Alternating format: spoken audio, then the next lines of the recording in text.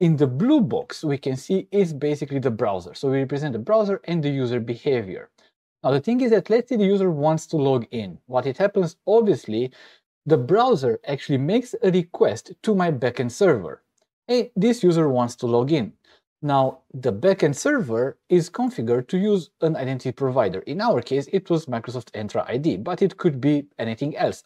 Now, the thing is that my server, my backend let's say API or the backend for frontend, redirects the user to the authentication or identity provider for login. The user gets there, it logs in, and then what it happens is obviously that the identity provider redirects the user back to my API, not to the browser, but back to my API or my backend for frontend. And here it means that my server is actually the central control plane of everything that relates the identity or the authentication of that specific user. What do I do now? Obviously on the server side, so in the browser nothing happens yet. The browser still waits.